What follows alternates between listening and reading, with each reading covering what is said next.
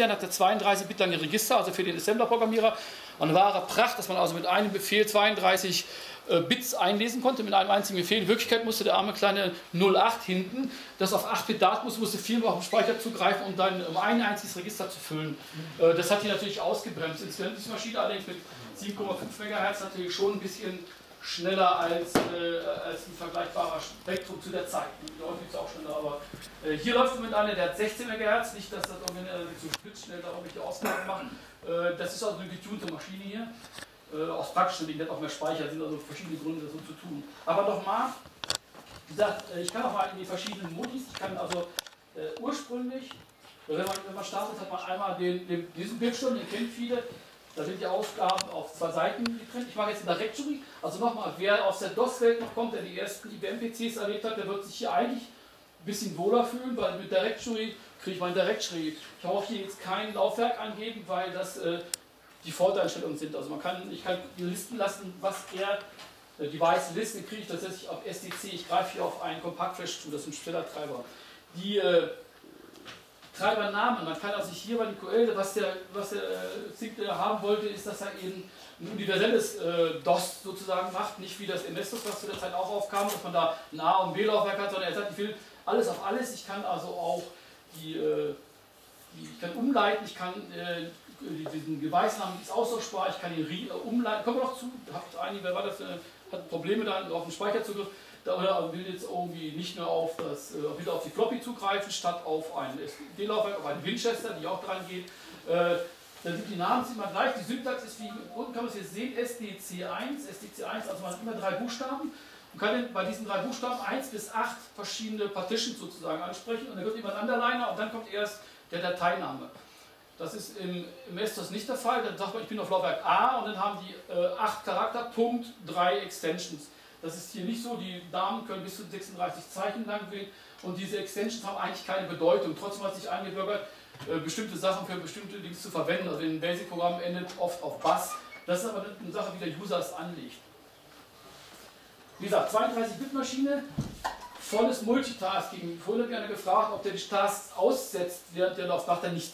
Also wenn ich einen zweiten Job starte, man kann also Job starten, und äh, wenn der gestartet ist, läuft der, dann kann der Programmierer bestimmen, ob das einer ist, der beim Umschalten im Hintergrund geht oder ob er weiterarbeitet. Das ist Sache des Programmierers. Ich kann es auch, ich kann mal, gebe mal den Befehl Jobs ein.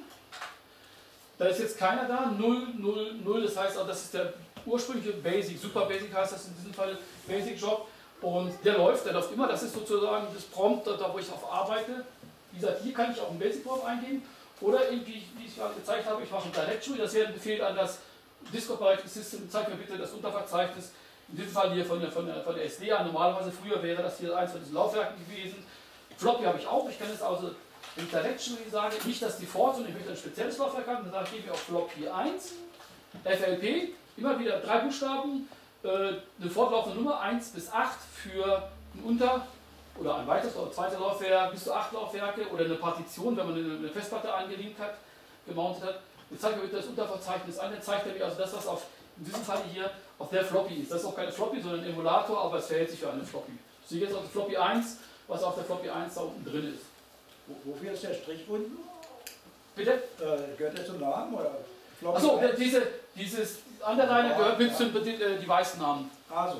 Jetzt kommen wir zu noch einer weiteren Eselei, was der Clive nicht bedacht hat, ist, dass man auf so ein, äh, auf so ein Micro 3, 4, so hießen die Dinge ja, die Tapes, passen also bei der QL-Version maximal 120k drauf. Das ist natürlich für eine Maschine, die in der Originalausrüstung nur 128k hatte, ein großer Speicher. Konnte, der braucht 32k, gehen schon runter für den Bildschirmspeicher, die stehen schon nicht mehr zur Verfügung. Dann noch Systemvariablen, hast du nicht gesehen, der hat noch einen zweiten Bildschirmspeicher, wenn er die genutzt hätte, wären 64k schon weg gewesen, nur um den Bildschirm zu verwalten. Deswegen wurde dieser zweite Bildschirmspeicher eigentlich nie aktiviert. Er geht mittlerweile, also das war auch in den 90ern schon möglich, den zweiten zu nutzen mit verschiedenen, mit anderen Betriebssystemen. Aber äh, das heißt also, für den war völlig klar, dass alle Dateien, die er hat, in einem Verzeichnis sind. Das war, für den, das war einfach so. Das war auch lange Zeit so. Und irgendwann kam größere Speicher, stand Floppies, da hat man den ersten 720k gehabt, später diese berühmt-berüchtigten 1,44, die wir alle kennen bei den Floppies. Ähm, das ist natürlich ein bisschen mehr, als er im Grunde in seinem Speicher reinladen kann. Er hatte selbst im Ausbau war mit 640k ja äh, mehrfach Geschnittenheit sozusagen möglich. Da musste man also irgendwie seine Daten organisieren. Man hätte sehr viele Dateien man hat es ja eben alle gesehen, Wenn ich hier von, der, von, der, von so einem äh, Festplatten- oder Massenspeicherlaufwerk man auf einmal sehr lange Unterverzeichnisse. Und jetzt sieht man ja auch diese Pfeile, das sind Unterverzeichnisse. Und das ist aber ja später hinzugefügt worden.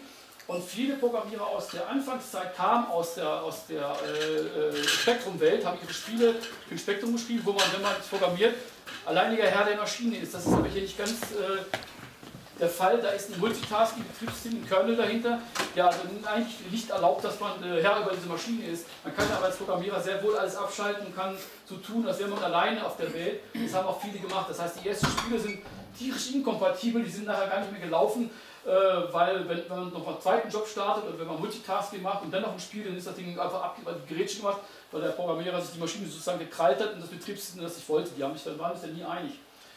Urs, korrigiere mich, wenn ich großen Blödsinn erzähle, ja? Okay, alles gut. Aber das war so, also die, deswegen gibt es auch Probleme heute, die uralten Spiele ans Laufen zu kriegen. Ich habe mir das so gemacht, dass ich also äh, durch Umstecken die Maschine wieder in den alten ursprünglichen Zustand bringen kann und kann das Spiel dann auch spielen, aber es ist einfach ja, teilweise die ersten, das waren die ersten vier, fünf Jahre sicherlich noch der Fall, dass also äh, der Programmierer versucht hat, die Maschine zu beherrschen, sage ich mal, und das, das DOS auszuschalten, was da drin war. Spätere Programmierer haben sich an die Konvention gehalten, sodass die Programme, die nur drei, vier Jahre später auf den Markt gekommen sind, äh, selbst heute noch laufen, auch im Multitasking, kooperativ, um Bildschirmverwaltung, dass die also dass den Jobs, den anderen Jobs den Bildschirm lasten und so und alles, das klappte später auch. Der Elmar ist heute ist einer von der aus der Programmiererwelt. Seine Programme lassen sich auch multitasken, habe ich festgestellt. Ja, ja. Ein Lob dafür. ja, aber vielleicht darf ich dazu sagen, die äh, Spiele, die das nicht äh, zugelassen haben, das lag einfach daran, die 128K, 32K sind ja schon weg für den, für den Bildschirmspeicher, ja. und weitere 10K für die Systemvariablen. Und äh, wenn man den, äh, den äh, also das Multitasking laufen lässt, dann nimmt es einfach halt ein bisschen was weg.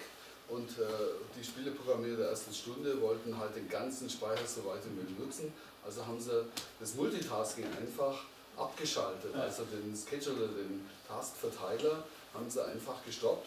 Ja, und so hatten sie seinen Speicher anhalten, ja. zur Verfügung. Und dann war das eine ganz einfache Maschine, wo dann eben nur noch das Spiel lief und fertig. Ja. Und kein Multitasking mehr und kein gar nichts mehr. So war halt das letzte Kilobyte noch ausgereizt. Ja. Zum Beispiel gab es da so ein äh, Ding dann auch, wo so ein Ball auf und ab hüpft, mhm. mhm mit mhm. Computergrafik, mit so Linien am Boden, die sich dann in, in der Spiegelkugel äh, spiegeln und so. Und die hat das hat auch als allererstes sofort alles abgeschaltet, damit er bis zum letzten Quäntchen alle Bilder im Speicher halten konnte und sie dann abspulen konnte. Mhm. Also äh, nur deswegen. Und später ist man davon ausgegangen, wenn einer wirklich mehr Speicher braucht, dann steckt er halt den Speicher weiter. Ja gut, das gab dazu, dass die Speicher wurde billiger, Massenspeicher wurden billiger, die Floppys kamen auf, die gab es also auch nicht ordinär von Sinclair, sondern später über Microperipherals gab es dann das erste Laufwerk für die Maschine wie gesagt, viel zu spät. Das hat dafür, dazu geführt, dass er sich kommerziell nicht durchgesetzt hat. Ich komme gleich noch zu dem exzellenten, guten Business-Paket, was dabei ist. Der wurde also als Business-Maschine ausgeliefert und hatte damals schon das Office-Paket 1984 ein Office-Paket mit dabei. Excel, Word, die, die heißen anders, kommen wir gleich noch dazu. Äh, dann gab es Grafik, ein Grafikprogramm, um Business-Grafiken darzustellen und eine Datenbank. Die war werkseitig im Paket mit dabei, zu dem Preis damals 2000 Deutsche Mark. Als er rauskam, der ist eine kurze Zeit später ein bisschen runtergegangen, der Preis, das war für die damaligen Verhältnisse ein Kampfpreis. Ich habe ihn für, im Oktober 84 gekauft, für 1600 Mark. Ja, geht ja schneller runter dann, ja. Und innerhalb eines Jahres sank er dann noch äh, auf bis 400 Mark. Also das war ein Kampfpreis, die Software, mit der ich heute noch gerne. Also wenn ich unbedingt muss meinen PC hochlaufen lassen, damit ich endlich in Excel drin bin, ist der schon fertig mit der Aufgabe. Das Excel ist nicht schlecht. Ist natürlich nicht das heute mit Maus drüber, mach mal eine Grafik von, sondern hier muss man, zeige ich euch gleich, auch nicht viele Tastendrucke, machen wir gleich noch. Äh, mal eben eine Grafik rauszuholen, ging aber schon vor 30 Jahren. Wir reden mit einer Maschine, die 30 Jahre alt ist, weil letztes Jahr war 30 Jahre bestehen. Also die Datenbank, die dabei war, äh, die war auf jeden Fall so gut wie die BS2 und sogar ein bisschen schneller als das. Ja, ich meine auch, die war nicht, die hatte lange Zeit hat die da auch die Programme, die, die vom Zion geschrieben worden sind, das ist, wie gesagt, bevor das Excel oder das Abacus heißt es ja hier bei denen als nicht mehr zeitgemäß, es hat Jahre, zehn, ja, Jahrzehnte gedauert, bis man sagt, okay, das ist wirklich nicht mehr zeitgemäß. Man kann heute ein bisschen mehr machen, das hat ewig gedauert. Auch der Tabellenkalkulator, der war, äh, hat die Besonderheit, dass man auch in die Zellen eine Abfrage reinsetzen kann, damit, äh, wenn der dann ausrechnet, was da drin für eine Zahl erscheinen soll, dann fragt er einen interaktiv. Man kann sofort und dann macht er weiter. Das heißt, man kann ein richtiges Formular, das sich abfragt, die Werte beim User einprogrammieren. Das ging auch bei Excel damals.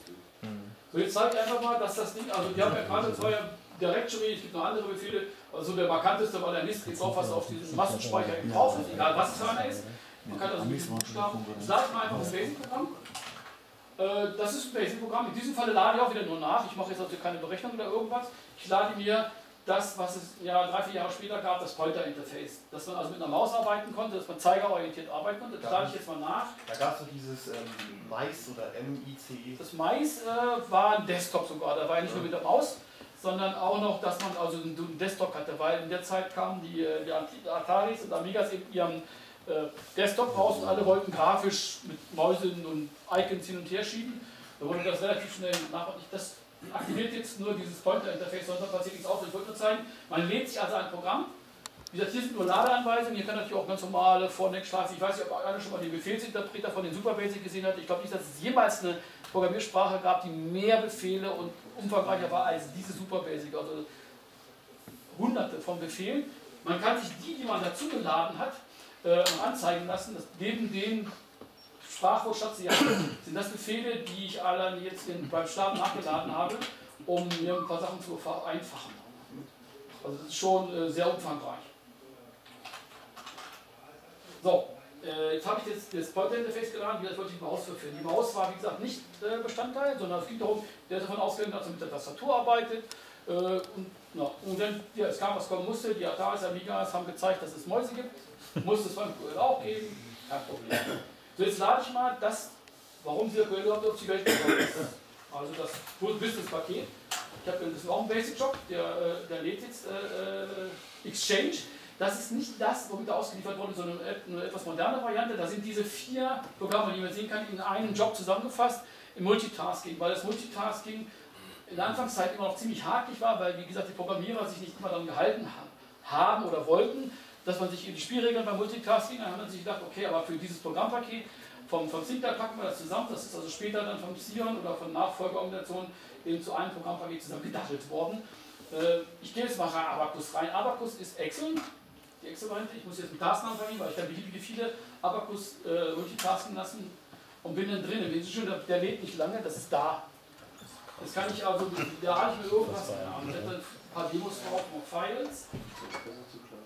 Und dann sage ich mal S-Index, da weiß ich, dass es funktioniert. Ne, ich import. Files, load, nein. Und jetzt noch schon Drehtonblinde dazu und gut ist. Ne? Files, load, import, export. Ja, was will er laden? Nee. Ja, ich habe eigentlich noch Load natürlich, na klar, warum denn nicht? Ne? Wie gesagt, ich arbeite nicht immer damit. Das ist irgendein Programm, hat einer sich mal, ich habe das genommen, weil man so schöne Grafiken machen kann, von die paar Daten drin sind. So, dieses, das ist jetzt also nicht wie beim heutigen Excel, man kann nicht sagen, ich möchte jetzt äh, da mal eine Grafik von haben, das ist ein bisschen komplizierter, ich muss die Daten exportieren, importieren, die müssen in einen Zwischenspeicher geschrieben werden. Das mache ich jetzt mal, jetzt muss ich tatsächlich in Files, weil ich schon ein bisschen zu schnell. Ich exportiere Daten, äh, ich will nicht nach Quill, sondern ich will ISIL, ISIL ist das Grafikprogramm. Äh, dann sage ich eben, ich möchte eine Tür, also wie man das in Excel kennt, ich habe einen bestimmten Speicherbereich. Äh, M36, nee, M7. So, das ist jetzt der Bereich, das ist die obere Zeile, Auf 4 bis hier 7. Januar, Februar. Mhm. Nicht bis M. So, M7. So, das möchte ich äh, nach, also jetzt hier spaltenweise und da sage ich jetzt hier RAM 1, ein weiteres Gerät, was es bei dem gibt, das ist auch wieder eine RAM-Disk, das heißt, äh, das ist auch ein Gerät, das verhält sich ganz normal, als wäre es ein Massenspeicher, aber es wird nicht beim Ausschalten flöten. Und das ist der nimmt Teil von dem Hauptspeicher und sagt, du bist an die Diskette. Test. So, jetzt hat er es exportiert. Das ist jetzt in, diesem Zwischenspeicher. Jetzt kann ich die Task umschalten, wieder in den äh, Task-Switcher und sage, ich möchte ISO ISO. haben. Das ist die, äh, die Grafik, Dings, möchte- die Grafik, äh, das Grafikprogramm möchte ich jetzt Files, möchte ich importieren. Und zwar aus RAM 1 Fest. Test. Und dann habe ich die Daten, die da in der Datei schon jetzt in grafischer Form. Ne? Also das ging schon vor 30 Jahren. Und das ist jetzt nicht wirklich, und der ist jetzt ein bisschen beschleunigt, aber auch bei einem normalen QL dauert das nicht ewig. Also das ist ein bisschen behäbiger, aber nicht wirklich, dass es langsam ist. Wie, wieso war denn da die Zeitachse, Januar, Februar und so weiter schon drin? Weil ich mit exportiert habe. Ich habe, ich habe, war aber vor, vor, vor Das war die. Zeile 4. also ich hätte gesagt, ich kopiere Ja. 4 bis Zeile 7. 4. Ja, ist die ja. Zeit. Dann ist die erste, Die Dings, das kann man aber bestimmen, da habe ich mit Header und sagen, erste Zeile Ex sollte auch erste Zeile sind Tabellen, zwei Spaltennamen. Ja, Nein. der nächste Schritt war, dass wir jetzt den Isel rufen. Ja, ich habe Da das. waren die Daten nicht mach drin, aber die. Mach mal einen neuen Diesel. Pass auf, ich mach mal was anderes. Ich, halt mal ganz, ich bin mich ganz raus aus diesem Ding. Ich bin jetzt also, Exchange habe ich jetzt im Hintergrund, wir können das jetzt den Jobs mal anzeigen lassen. Dann sieht man, dass da Exchange äh, äh, aktiv ist. Diese Task ist aber suspended. Das heißt, die Beziehungsprogrammierer lassen ihre Task jetzt schlafen. Ich könnte jetzt nicht extra im Hintergrund laufen lassen, weil das Programm dort. Er ist suspended. Und wenn jetzt noch die Priorität 8, die kann man natürlich ehrlich sagen, ich möchte im Hintergrund mehr Leistung als im Vordergrund haben, das kann man jetzt einstellen. Ähm, so, wenn es ja eine Directory, ich habe ich hab ja was in RAM 1 geschrieben, habe gesagt, ich soll den Speicher. Dann sehe ich, da stehen, äh, da steht erstmal irgendwas, äh, hier dieses Exchange, das ist von äh, Exchange selber, legt sich da was ab, irgendwie nutzt das für irgendwelche Vorgänge und Test einer deiner Export, das habe ich gerade angelegt. Das ist eben diese vier Zeilen, erste Zeile äh, Monate und dann irgendwelche Daten halt. Äh, und ich kann jetzt wieder auf diesen, auf den, auf diesen draufschalten. Wie gesagt, ist kooperativ, präemptives Multitasking. Das sind die, laufen weiter, wenn ich das will. Wie der Programmierer bestimmt, ob die, ob die Task weiterläuft oder nicht. Was ich nicht machen kann, jeweils nicht in dieser Version des Betriebssystems, ich kann diesen Basic-Job, den eigentlichen Mutterjob, nicht Multitasking. Der ist einfach nur immer nur einmal da. Es gibt spätere Versionen, die lassen selbst das zu. Da kann ich also das unter SMSQE kann ich zum Beispiel, das können wir nochmal starten, wenn einer Spaß dann hat. Äh, da kann man also sehen, dass ich beliebig viele Super Basic Jobs laufen lassen kann. Also mit diesem Befehlsinterpreter, wie man es gerne hätte. Ansonsten, diese Programme sind alle compiled. Bin ich aus der Zeit raus? Nee, aber bald. Doch nicht. Wir können dann auch zu den Fragen kommen. Also wie gesagt, das Ding ist unendlich komplex auf der ersten. Das hat ein Betriebssystem hinter, also Achtung, das ist nicht dran geflanscht, sondern das Teil des Systems, das ein Betriebssystem erwartet. Und wenn man den einschaltet und hat nur die Microdrives, ist das eine ziemlich öde Kiste, sage ich mal vorsichtig. ja, heutzutage, ja. Erstmal muss man erstmal funktionierende Tapes haben. Und sobald eine Floppy dran ist, wird es lustig, dann kommt man schon mal langsam dahin, äh, was man so haben möchte. Ansonsten sieht man nur dieses Prompt, man kann sehr viel machen. Aber wo speichere ich es denn hin? Das Problem hat man natürlich bei den anderen Maschinen auch gehabt. Die hatten ja am Anfang nur ihre Kassetteninterfaces. Hier hatte der eben schon einen Massenspeicher, der auch wie ein Massenspeicher organisiert war. File Allocation Table, die Files, das ist äh, heute noch ja, eigentlich einleuchtend, wie es funktioniert. Zumindest für die Leute, die in der DOS-Welt groß geworden sind, die fühlen sich da ja auf Anhieb wohl. Und die Maus? Das wollte ich noch mal, jetzt geht man noch zu Ehren von dem Elmar noch in eins von seinen Programmen und dann kann ich auch schon auf. Ja. Also wenn ich verwechsel, ist das äh, Verzeichnis nach, äh, wo habe ich denn, wo habe ich nicht gehabt? Office habe ich nicht gehabt. Ich habe jetzt ein Unterverzeichnis gewechselt, nur mal um das anzuzeigen. Äh, ich muss mal kurz. Nee, ich muss, ich muss, äh, ich muss mal wieder die Verzeichnisse zurücksetzen.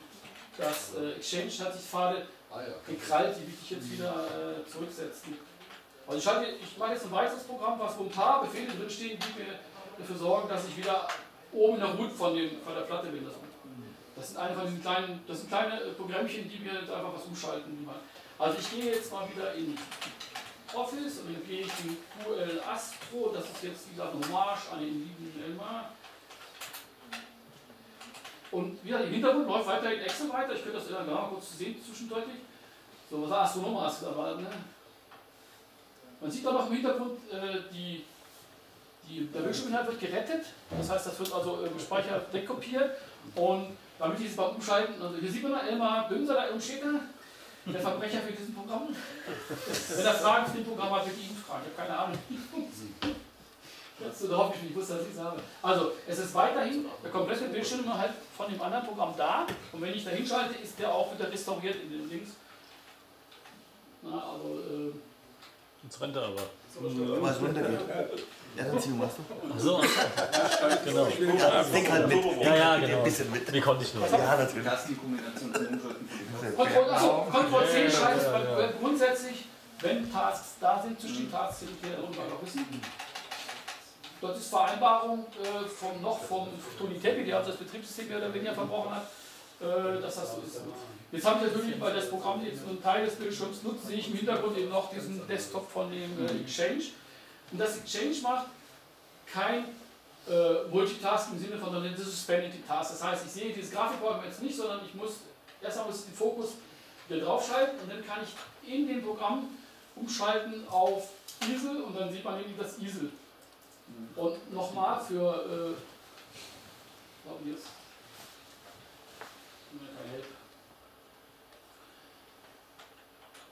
Aber das liegt eben daran, dass dieses Programm geschrieben wurde, da war es mit, äh, da haben die Programmierer sich eben nicht dran gehalten, haben gesagt, dann machen wir unsere eigene Welt und dann schalte ich auch in dieser äh, Office-Welt sozusagen rum.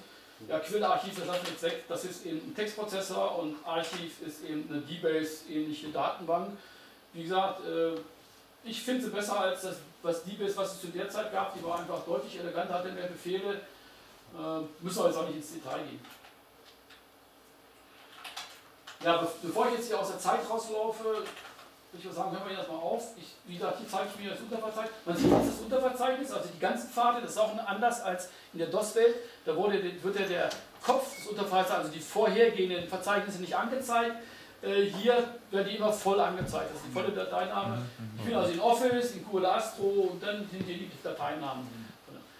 Gesagt, so viel zum Grundsätzlichen. Wie gesagt, anderer Ansatz, andere Idee. Es gibt auch noch einen Mode für Spiele, das ist der 8-Farben-Modus. Hier hat er wirklich nur grün, weiß, schwarz und rot. Das ist, wenn man äh, Tabellenkalkulator auch völlig hinreichen. Da haben wir rote Zahlen, schwarze Zahlen und ein bisschen was zum äh, Bezeichnen. Der schwarze Teil oder schwarzen Hintergrund. Und äh, Schwarzes Teil oder schwarzen Hintergrund. der schwarze, schwarze wir auch, haben wir auch Film, ne? Sieht man nicht, wie weit man schon im Minus ist. So, wo- wo ich das Ganze jetzt mit Stromlicht kriege, ich muss jetzt in Mode 8 umschalten, dann ist natürlich sind die Farben alle im Arsch, dann kann ich das Ding neu starten. Also da ist teilweise nicht abgeblockt. Da ist äh, am Anfang keiner darauf gekommen, dass das jetzt nicht funktioniert. Also ich kann es ja mal machen. Aber die Grafik war trotzdem beeindruckend, wenn man an sowas Frühes wie Ah, der neue, ah, ja, ich habe den neuesten äh, äh, Links drauf, der schaltet tatsächlich auch den, den Mode mit um. Pointer Environment. Ja, aber die älteren Versionen, das hat nur Mist ne, auf dem Bildschirm. Da gab es da gab die ersten Varianten, haben das nicht gemacht. Okay, der kann jetzt sogar die Farben umschalten. Ja, so wild. also wenn man jetzt hier direkt schon macht, da sieht man die, die, Das ist der 40-Zeichen-Modus, ja. die Zeichen. Und das kommt alles ein bisschen, das ist natürlich für diese äh, Ja, Darstellung auf auf dem Fernsehen. Kann man auch ohne Brille lesen. Ja. Okay, Magst du vielleicht ganz kurz, wenn du es hast, QL Chess zeigen, die Ah, 3D-Darstellung? so, ja. Weil da muss man sich wirklich vor Augen halten. Ah, das Highlight, ja. ja. 32 Jahre alt ist. Sorry. Weil ich jetzt, äh, wo bin ich nur, wo ich bin. Das ist natürlich, man kann sich in der Verzeichnis natürlich tatsächlich verlaufen. Jetzt muss ich, da gibt es einen Befehl, um zu zeigen, wo man sich gerade rumtummelt. Das Chess wurde auch für aufführende QL entwickelt. Es kam erst später, wurden dann auch Adaptionen für andere Betriebssysteme gemacht. Also für DOS zum Beispiel. ist mein Spielespeicher, das gehört zu den Brettspielen.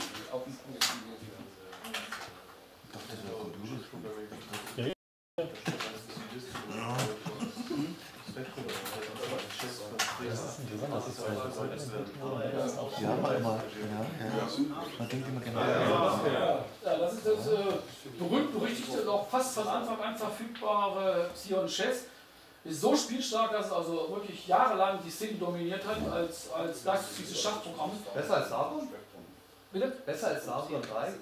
84, das war das spielstärkste Programm 84. Also es kann sein, dass es auf, auf Großrechnern andere Sachen gab, aber in der Homecomputer-Szene nicht zu schlagen. Und wer programmiert ist jetzt, haben sie nichts ein noch zu legen? Also der auch mich vom Funktionsumfang her, also der hatte relativ viele Möglichkeiten. Diese Variante kann keine Partien nachladen. Ich habe noch eine irgendwo im Speicher, die kann sogar berühmt-berüchtigte Partien laden. Also diese hier kann das noch nicht, dass sie eine der ersten. Achso, Wie wurde da umgeschaltet in die 3D-Ansicht? F, äh, F2, F2. ja, und jetzt halt hier. Werden die Züge auch animiert? Ja, ja, ja. die werden animiert. Ja, ich bin aber irgendwie- Es gibt einen Demo-Modus, glaube ich, D. Also jetzt die Power jetzt hoch. Ah, Wieder 84, kam fast wieder mal Ja, muss man schon sagen, Respekt an, ja, ne? Auch vom System selber, das ist also von den Machern des Betriebssystems, die haben eben äh, Cable für Schach gehabt und das war das erste, was auf dem Markt war, dieses Psion-Chess. Was hat das damals gekostet? Mal nur. Weißt du, was das Ja, gekostet 20, 20 30 Mark hat das schon gekostet. Okay. Teuer war nicht. Ich weiß nicht, vielleicht kennst du noch. Ich glaube ich glaub schon eher so 50 Mark oder sowas. Man war damals auch Geld, ne? Aber hier 84. Also, sucht mal, Das Xeon-Paket war schon beim QL dabei. Ach so. Umsonst. Ach Das ganze Paket. Aber das Schach war extra. Ist das dieselbe Firma, die auch die Organizer gemacht hat? Ja, okay. Schätze 15. Genau.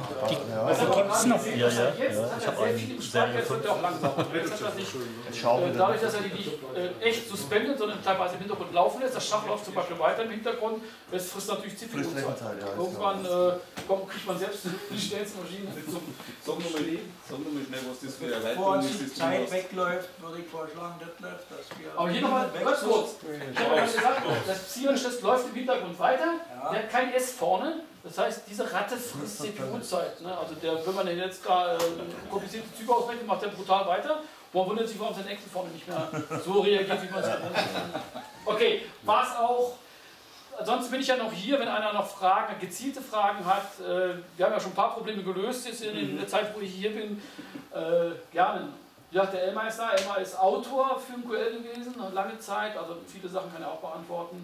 Und hat eine schöne Website. Ja, ja, das auch. ah, zu den drei Buchstabenkürzeln will ich noch was sagen, das hat mich damals schon beeindruckt. Diese Kanalunabhängigkeit vom QL-Betriebssystem. Und zwar, äh, die Microdrives heißen ja MDV. Und die Floppies heißen meistens FLP und so weiter, gibt es Namen. Auch äh, serielle Schnittstelle heißt SER und äh, der Bildschirm heißt SCR. Die sind in einer verketteten Liste vorhanden, die im ROM bereits eingebaut ist. Und diese Namen, also wenn die auftauchen, dann werden die in der Liste gesucht. Ja. Aber der Trick dabei ist, der erste Eintrag ist nicht im ROM. Der erste Eintrag ist in, im Speicher, der wird im RAM angelegt. Das ist noch meistens ein Leereintrag und von dort aus springt er in die ROM-Liste zurück. Und dann kann man jederzeit weitere Einträge zusätzlich reinsetzen, zum Beispiel einen, der MDV heißt. Dann findet er den zuerst, weil die RAM-Schleife Ja, ja, okay. wird zuerst durchsucht Ja, ja, und dann und dann kommen hast du- die ja, okay, dran. ja, ja. Die sind sozusagen Default. Ja. Ja, Aber okay, wenn ihr da nichts findet, schaut in den Raum nach. Genau. Und man kann also auch äh, beliebige Device auch beliebig benennen. ja. Man kann also auch die Floppy und die Winchester kann man Als auch MDV ansprechen. Ah, okay. dann können die Programme ohne jegliche Änderung darauf zugreifen, Das ist cool. weil sie denken, das wäre immer noch ein MDV. Das ist auch der Trick, wie man alte Programme ans Laufen kriegt. Die wollen einen Microdrive unbedingt haben, MDV, und dann leitet man im ja. Betriebssystem den aber auf Floppy um und er glaubt, das Laufwerk ist, also das Programm ist gerade auf MDV, zur Wirklichkeit ist auf der Winchester. Ah, super. Also das ist sehr flexibel an der Stelle. Allerdings, wenn ich äh, die Winchester als MDV genannt habe, dann lande ich in der Suche, wenn ich MDV sage, natürlich nur noch bei der Winchester. Ich komme nicht mehr auf MDV. Dann ist das äh, Microdrive-Laufwerk momentan nicht erreichbar. Außer ich benenne meine Winchester wieder Uvinum oder sowas. Und dann kann ich natürlich auch wieder auf die andere. Also dieses Prinzip macht der QL sowohl bei den Device-Namen, diesen drei Buchstabenkürzeln, als auch bei den Basic-Befehlen. Auch dort gibt es so eine verkettete Liste. Wer neue Befehle hinzufügt, die kommen zuerst in die RAM-Schleife, die werden dort eingebaut und die werden dann zuerst gefunden. Also könnte ich einen Printbefehl modifizieren. Ganz genau. Ah. Dann, und dann setze ich einfach meinen äh, modifizierten Printbefehl oben in die Kette rein, wird der gefunden, dann wird das gelaufen. Das, was ich also, gezeigt das habe. finde ich sehr flexibel und sehr elegant gelöst. Aber ich zeige jetzt mal kurz, das, was ich euch gezeigt habe bei den Befehlen. Das sind Befehle, die sind ins RAM kopiert und modifiziert worden. In diesem Fall von dem Toolkit 2, der ist geboren worden mit 80, 48k ROM. Da haben sie versucht, all die ganzen Funktionen reinzuquetschen. Das hat nicht funktioniert, haben die das mal auf den Markt gebracht. Und man braucht, also wenn einer von euch mit QL anfängt, ihr braucht das Toolkit 2. Erst zusammen mit dem Toolkit 2 ist das die Maschine, die ich QL nennen würde. Davor kann man damit arbeiten, aber das ist irgendwie, oh man, willst du nicht haben, tut weh. Und diese Listen der Befehle, die verändert worden sind oder die zusätzlich, die kann man in diesen Extras aufrufen. Und das sind alles Befehle, die hat er nicht ordi- ordinär in seinem ursprünglichen Betriebssystem drin, sondern sie sind von mir nachgeladen oder über, über EPROMs geleakt worden beim Bootvorgang. Ja, das ist also das, was, er, äh, was Elmar gesagt hatte, die sind ins RAM umgeleitet. Das sind jede Menge. Da sind nicht so viele bei, das ist das Point Interface, das ist unendlich lang. Das ist jetzt. Ein zweiter Bildschirm, der über dem ersten liegt, oder? Bitte? Der rote ist jetzt ein zweiter Bildschirm, der über dem ersten liegt, oder? Ja, ist eine Oder so. Äh, der Das ist irgendein Bildschirm, das ist Der QL hat, voll, äh, hat volles Fenster, Technik, Aha. Bitmap. Er hat aber nur eine Ebene. Das heißt, die Fenster werden, wenn sie überschritten werden, nicht gerettet, sondern die beschreiben sich ganz einfach fertig. Also wenn ich das rote jetzt schließe, dann kommt das grüne nicht automatisch. Aber hier ist jetzt, Nicht, äh, nicht was der Karl, hier ist jetzt ein Window Manager installiert, den habe ich da mit diesem Pointer geladen, der dafür sorgt, dass die Bildschirmhalte gerettet werden. Das ist aber nachträglich, das hat der Audi äh, ursprünglich nicht gemacht. Aber man kann trotzdem noch wunderschön mit Fenstern arbeiten. Man muss darüber nachdenken, in welcher Reihenfolge man die überschreibt. Beziehungsweise, wenn ich dann wieder eins wegnehme und äh, dann muss ich eben das alte Fenster nochmal neu beschreiben vom Programm aus, damit es wieder erscheint. Von selber kommt es nicht wieder. Das ist nicht vorgesehen. Dafür war einfach der Ja, Speicherplatz. ja, nicht ist klar. Also noch eine kurze Demonstration, was die Maus richten können, dann sind wir auch schon durch. Ich lasse es jetzt einfach noch oben drauf, auf die Gefahr dass da irgendwann. Das, das sieht daher sehr schön, dass alles bitmapped ist, weil der hat, das eine Fenster hat das andere Ja, ja, man sieht es noch. beim halben Buchstaben Mhm, überschrieben. erwischt, Das ist ja. ja bei Textmodus gar nicht möglich. Ach, das ist mal lassen. Also das ist jetzt aber so vier, fünf Jahre nach dem Erscheinen, dann war das schon möglich, eben hier wie gesagt voll mit Maus zu arbeiten, voll Grafik. Äh, Das Programm ist aber später geschrieben worden, aber es ging schon. Also dieses Mausinterface eben, äh, das waren ja das Anwählen, also klassisch bei Jung. Äh, nochmal zur Demonstration, das ist jetzt einfach nur zusätzlich drin, der Rest ist noch da, wir reden nicht davon, dass es weg ist. Ne? Mach mal Jobs. Jobs? Oder mhm. müssen wir mal einen Basic-Interpreter holen, wo haben wir den einen? Da. Ja, klar. Doch, jetzt, jetzt, jetzt nochmal und dann auch noch einen, 30 ist das pendant. Jetzt machen wir mal äh, auffrischen. aktiv. Ja. Sechs Jobs. Cool. Also das, was ihr jetzt gerade gesehen habt, da waren schon Haufen Programme, die Hintergrund laufen. Und der hat jetzt mit gerade noch 860k frei. 860. Das von, ist eigentlich eine, wie gesagt, eine gepimpte Version, der hat auch 768, zwei Megabyte äh, ja. Hauptspeicher. Okay. äh, auch hier, das ist wie bei, bei den Autos, Hubraum ist durch nichts zu ersetzen, außer durch Hubraum und hinten ist Speicher ist durch nicht als durch mehr speichern. Ja. Okay, fertig. Danke.